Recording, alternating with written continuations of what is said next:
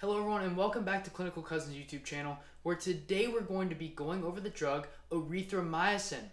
It is a macrolide antibiotic and it is given for gram-positive and some gram-negative infections like Legionnaires and pertussis.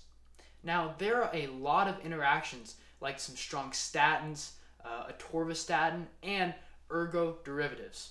Use caution in your patients with liver impairment we should know that this drug is a category B for acceptable, and we should know how it works.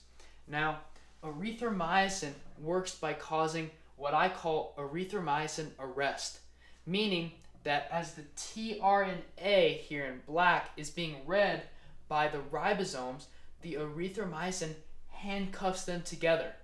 This inhibits the protein synthesis on the other side of the ribosome.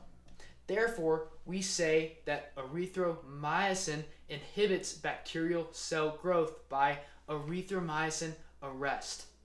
Now, this drug is, met, is metabolized by the cytochrome enzymes of the liver and can have some side effects such as GI upset and an opportunistic C. diff infection.